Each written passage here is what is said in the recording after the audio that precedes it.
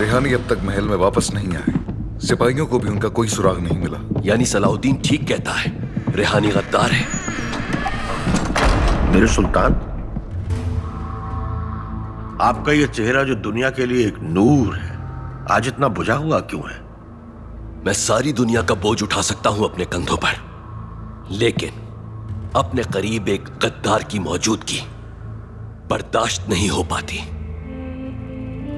अल्लाह ने मुझे सल्तनत दी। मैंने लोगों को मकाम, मर्तबा दिया।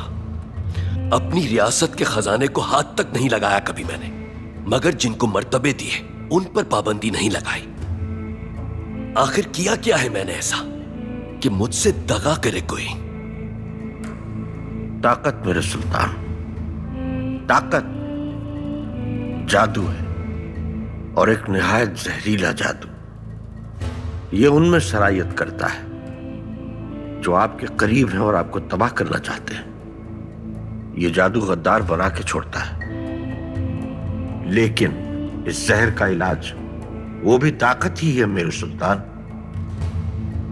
क्योंकि आप अगर अपनी ताकत बरकरार रखेंगे, गद्दारी का जहर आप पर बेअसर रहेगा।